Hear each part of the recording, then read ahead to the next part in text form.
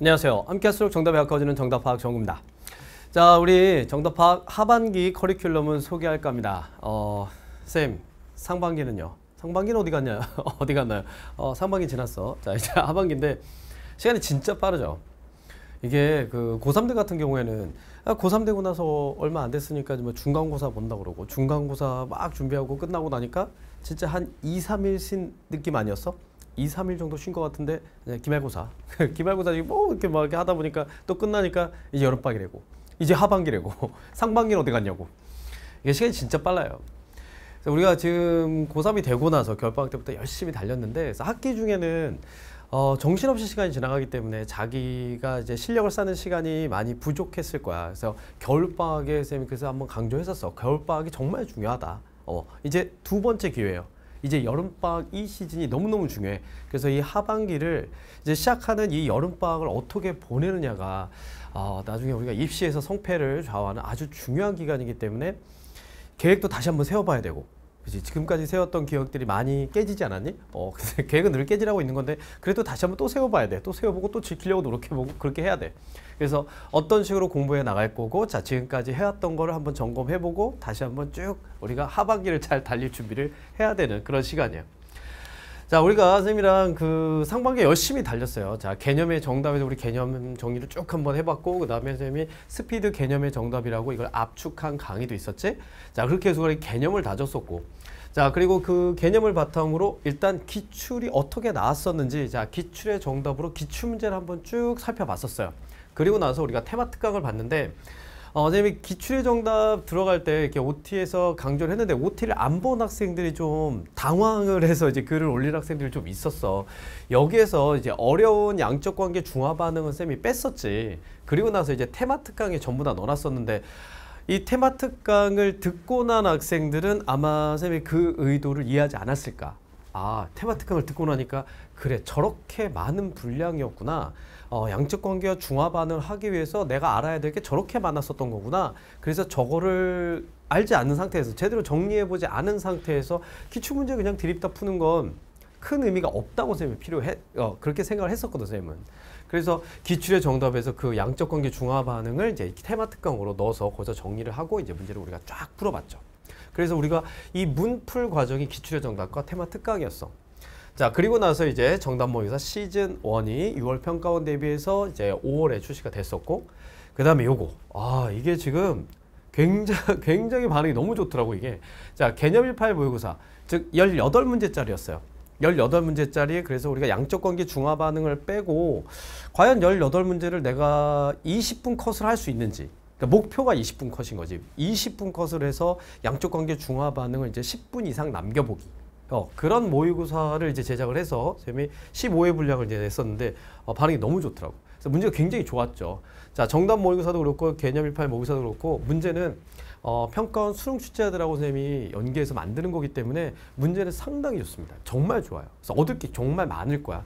자, 그렇게 해서 우리가 개념을 다진 거를 이제 문제를 풀어보고 그 다음에 실전 연습을 한 과정까지. 그래서 우리가 상반기에 되게 많은 걸 했어. 어, 되게 많은 걸 한 거야. 자, 그래서 이거를 이제 마무리 짓는 이제 하반기 커리큘럼을 좀 소개하려고 하는데 자, 하반기에는 우리가 이제 제일 먼저 해야 될 게 문풀의 정답이에요. 정답 시리즈. 자, 문풀의 정답. 이 문풀의 정답은 이제 기출 문제가 없는 거야. 이제 기출은 우리가 여기까지 충분히 많이 다뤄봤기 때문에 이제 그것에 대한 변형 문제들. 기출의 변형, 그 다음에 EBS 응용, 응용 문제들. 자, 그런 것들을 이제 문풀의 정답에 선생님이 넣어서 자, 7월에, 이제 7월 중순에, 7월 아마 22일 정도 그때 출시가 될 것 같은데. 자, 그래서 7월에 200제 정도를 압축해서 강의를 좀 만들 거예요. 그래서 요거는 단원별 N제 형식. 이제 모의고사 너무 많기 때문에 그 모의고사 형식 말고 단원별로 되어 있는 이제 N제 형식으로 자, 문풀의 정답을 어, 구성을 할 거고요. 문제는 어렵고 좋아요. 이제 난이도는 어떤가요? 라고 하는데 당연히 기출보다는 난이도가 높을 거고 그래서 기출에서 응용된 거기 때문에 어, 기출을 많이 본 학생들이 거기에서 이제 아직 안 물어본 것들이 있을 거 아니야. 그런 것들을 이제 우리가 문제를 만들어서 문풀의 정답 교재를 구성할 거기 때문에 기출이 이제 잘 되어 있다라는 학생들은 그 부분에서 이제 혹시 출제자가 더 응용할 수 있는 부분, 조금 더 난이도를 높일 수 있는 부분이 어떤 게 있었을까? 2월 6월, 이번 6월 평가원이 그랬지. 양적 관계 중화 반응의 난이도를 약간 낮추고 그 다음에 2페이지, 3페이지 문제에서 난이도를 약간 올렸었어요. 그러니까 이런 개념 18 모의고사나 요 문풀의 정답 그 부분에서 기출이 응용된 걸 우리가 많이 다루다 보면 그 부분에 대비도 될 거예요. 자, 그래서 7월에 이제 문풀의 정답을 이제 출시를 할 거고 어, 궁금하죠. 선생님 여기는 이제 꼭 물어볼 것 같아서 이게 여기에서 없었기 때문에 선생님 양적관계 중화 반응 들어가 있나요? 이번엔 들어가 있나요? 어, 이젠 들어가 있죠. 선생님이 그런 의도로 한 거야. 개념을 하고 그 다음에 일단 18문제를 제대로 한번 기출을 다뤄보자. 그리고 이제 양적 관계 중화 반응도 제대로 다뤄보자. 이제 그 과정이 다 끝났기 때문에 당연히 여기 안에는 양적 관계 중화 반응 포함이 되어 있습니다. 하도 많이 물어봐 갖고. 자, 그래서 당연히 포함된 형태로 이제 엔제 형식으로 200문제 정도를 자, 만들어서 문풀의 정답을 7월에 출시를 할 거고 기대해도 좋아요. 자. 그 다음에 이제 정답 모의고사가 이제 시즌 1이 이제 어 6월 평가원 대비해서 5월에 나왔었고 이제 시즌 2 부터 시즌 3, 시즌 4까지 이제 계속 이어질 텐데 이제 남은 평가원이 9월이잖아. 자, 9월 평가원 대비해서 8월부터 출시를 할 거고요. 8월, 9월, 10월 시즌 2, 시즌 3, 시즌 4가 각각 8, 9, 10. 11월에 안 나오나요? 음, 안 나와요. 자, 수능 보고 이제 쉬세요. 자, 그래서 8, 9, 10 이렇게 해서 시즌 2, 시즌 3, 시즌 4가 남은 게 이제 17회분. 우리 시즌 1에서 5회 분량을 했었죠. 자, 그래서 시즌 2에서도 5회, 그 다음에 시즌 3, 시즌 4는 이제 final 모의고사로 6월 평가원, 9월 평가원이 포함되어 있는 그 내용이 반영되어 있는 6회분 두 번이 3, 3, 5, 6, 6이야. 그래서 17회 분량으로 이제 정답 모의고사 시즌이 마무리가 될 거예요. 그래서 우리가 익혔던 거를 충분히 실전 연습을 할 수 있게 많은 분량의 모의고사도 준비해 놨고 그 다음에 개념 이팔 모의고사도 해 놨으니까 요거는 시간 줄이는데 일단 어, 활용을 하시고 그 다음에 실전으로 총 20문제를 풀 때 양적 관계 중화 반응까지 이제 마무리 짓는 연습은 이제 우리 정답 모의고사 시즌 1부터 시즌 4까지 물론 지금 시즌 1을 안 한 사람도 있을 거야. 근데 뭐 그건 상관없지. 여름 방학 때부터 차근차근 시즌 1부터 다시 해봐도 되고요. 자, 그래서 이런 모의고사 시리즈들은 내가 저 어느 정도 잘 정립이 돼 있다. 어, 그때부터 이제 내 실력을 점검할 때 쓰시면 되는 거니까. 자, 하반기에는 그래서 내가 저 상반기에 혹시 부족한 부분이 있었다면 그 부분을 채우고, 그러니까 개념 부분도 어, 개념을 들었는데 좀 문제를 풀 때 많이 틀려.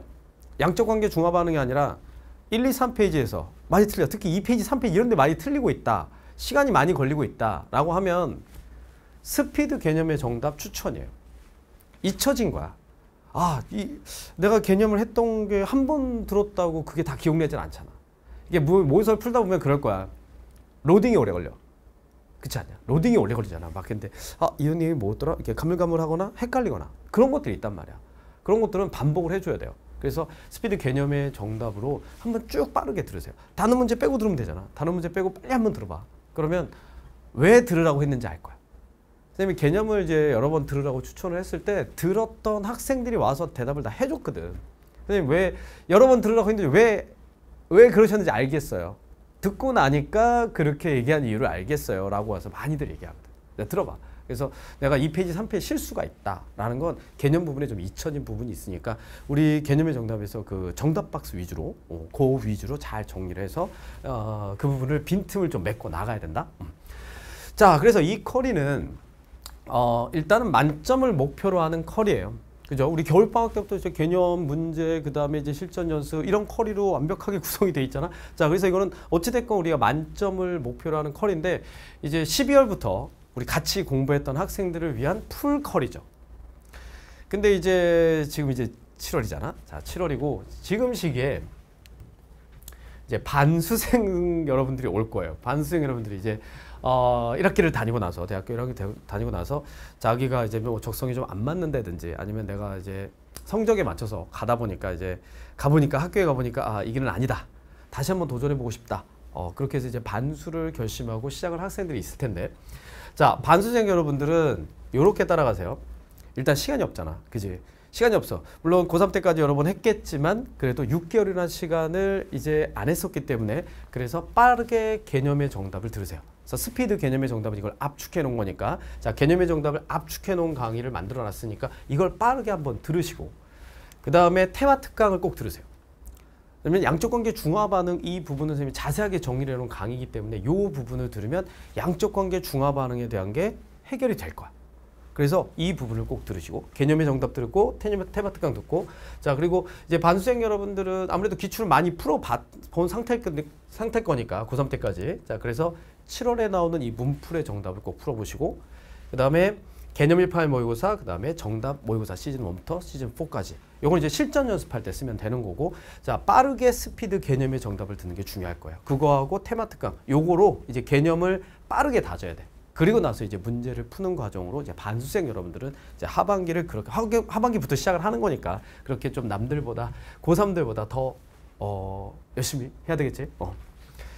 자, 그래서 이제 풀커리하고 이제 반수생 여러분들에 대한 얘기를 해봤는데, 어, 솔직히 얘기해서, 쌤, 솔직히 그런 학생들도 있어. 와갖고, 쌤, 저는 양적 관계 중화 반응은 못하겠어요. 정말 아무리 해봐도 안 돼요. 아무리 해봐도 안 돼요. 저는, 그리고 목표가 1등급이 아니에요. 저는 2등급만 받아도 돼요. 이런 학생들이 있어, 솔직히. 어. 그래서 2등급을 목표로 한 학생들도, 학생들도 어떻게 공부를 해야 되냐면, 그러면 난 양적 관계 중화 반응을 어 괜찮아 버릴 거야.